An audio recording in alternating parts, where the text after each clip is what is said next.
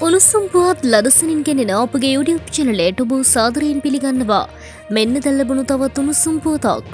හිමාලය හෝ ඉන්දියාවේ උතුරු දිග ප්‍රදේශාශ්‍රිතව නොදුරේ ඇති භූකම්පනයක් සිදුවිය හැකි බවට සිදු කරන ඔබ කල්පන බැහැරි කරන බව භූවිද්‍යා සමීක්ෂණ හා පතල් කාර්යංශය පවසනවා.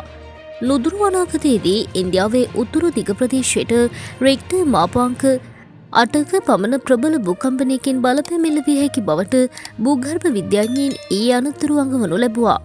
ශ්‍රී ලංකාවටද එහි බලපැමිල්ල වනු ඇති බවටයි ඔවුන් අනතුරුවක වූයේ.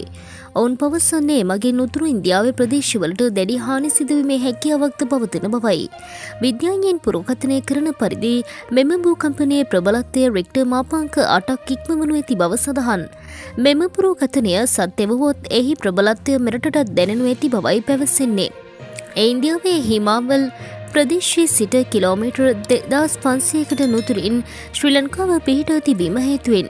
මීට වසර දෙකකට පෙර හිමාල ප්‍රදේශයට බලපෑ රෙක්ට මපංක පහක භූකම්පනයක්ද කොළඹ ප්‍රදේශයට දෙනු තිබුණා. ගතවෝසති කේපය තුළදී අවස්ථා හතරක බුත්තල වැල්ලවයි ප්‍රදේශාශ්‍රිතවද භූචලනවත්තා වූ අතර එවා රෙක්ට මාපකේ සටහන්ම තිබුණේ ඒකක තුනට අඩුවගයකයි. මෙවැනි වුණු සුම්පුවත් ලදසනින් දැන ගැනීමට අපගේ යුඩියුබ් චනලය සබස්ක්‍රයිබ් කර බෙල්ලයිකනේ ක්‍රියාත්මක කරන්න.